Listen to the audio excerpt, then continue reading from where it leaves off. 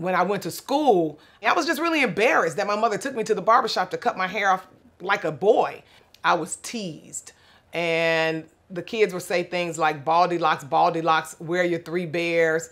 By the time I got to eighth grade, we used to have these eighth grade journals when we graduated. Someone wrote, God made wind and God made air, but when he made DeShawn, he forgot the hair.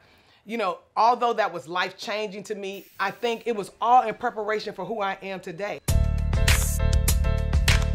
Well, up next, Coach DeShawn Bullard is giving us some tips for hair loss prevention. We've actually got hair wellness expert DeShawn Bullard. International hair loss expert DeShawn Bullard joins us now. DeShawn Bullard. DeShawn Bullard. I am the president and CEO of Nouritress Hair Products. Nouritress Hair Products is a hair restoration line to treat hair thinning and hair loss. You can find it at Walmart and Sally's. We have a full hair clinic in the city of Atlanta. They call me the hair messiah. The definition of messiah is a person who is the leader or savior of a group or cause. When I came into the beauty industry from corporate America, I really saw a missing link. I saw that there were a lot of people in the beauty industry who really didn't have the education or the knowledge on how to proceed or advance past the chair. So it was important for me to take the information that I learned in college, the information that I learned in corporate America, and to use that information to advance our community.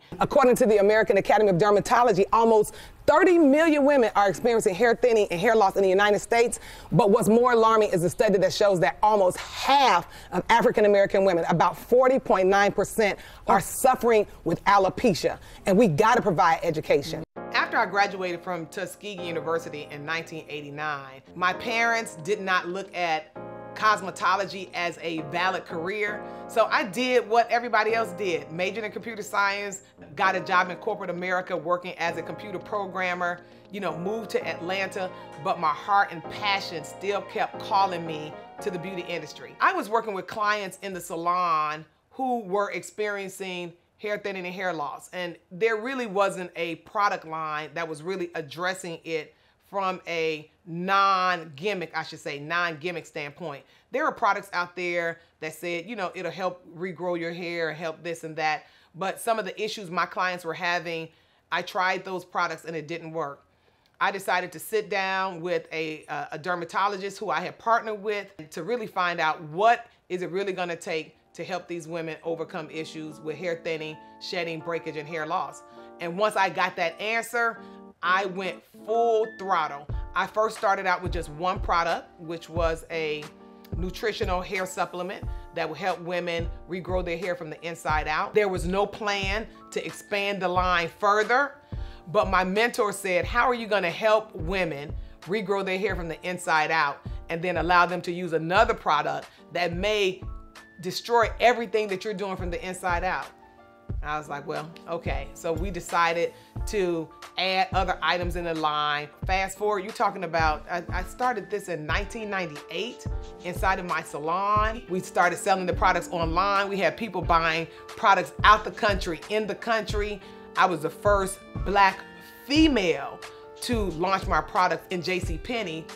We did so well at JCPenney that we expanded the brand into Walgreens in 2013, 20 17 Walmart. We had the opportunity to expand into Sally Beauty, Target, and grocery store chains throughout the country. The name Nouritress came from Nourish Your Tresses.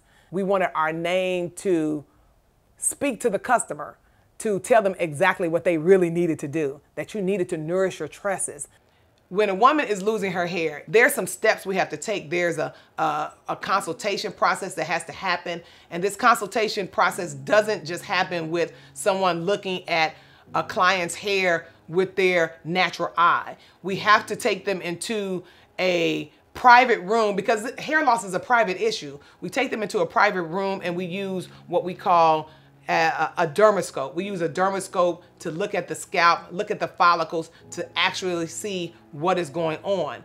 By using this particular tool, it gives us information on what the next steps are to proceed with a hair treatment plan. It gives us information whether we need to proceed with some topical treatments or if the client actually needs to go see uh, a dermatologist or her general practitioner. We live in a time now where a lot of people don't have insurance. So sometimes we get people to come into the salon who have not been to the doctor in years.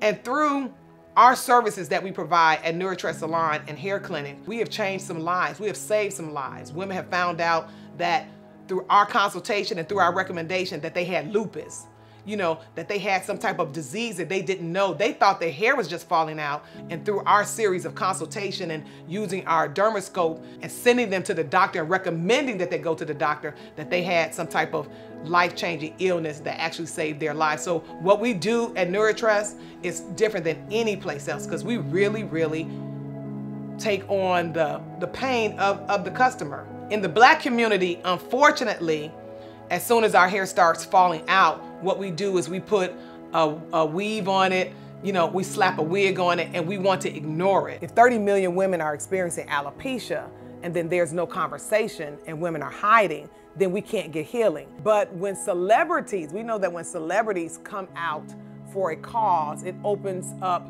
the conversation for the world to have. So when Jada Pinkett first talked about her hair loss in 2018, Congresswoman uh, Ayanna Pressley, we had you know, Toya Wright, with all of these celebrities coming out talking about hair loss and alopecia, I'm not going to say that it is that women are still not, still not going to be ashamed, but I will say that the conversation is starting. When we look at the civil rights movement, when we talk about in the 60s with Dr. Martin Luther King, they would come to salons because they had no other place to go. So, or the salon business kind of acted as a you know, like a hiding place. We were there getting salon services done, but also we were passing information along. I think what really happened and the reason why the door opened for other ethnicities to come into our community to kind of take information out is that the salon provider, the hairstylist, wasn't really given the information. You know, we really thought we had it on lock. You know, you would come into the salon, get your hair done, the, the customer wanted to find out, hey, what did you just use in my hair? You know, the stylist would turn the bottle around because they didn't want the customer to see what they were using. We were missing that link. And that's that's economy. You know, that's how a country is run. And if the person who is providing the service can't tell you what to do, then there's an open door for someone else to come in. And that's exactly what happened. We thought we had the lockdown on the beauty industry, but we missed a very important piece. We had the lockdown on the service side, but we missed the economic value in selling retail and having products available for our customers that would increase our bottom line. You know, this warehouse represents where the brains of the operation is housed. It houses our administrative functions as well as warehouse operations such as shipping, receiving, packaging, bottling.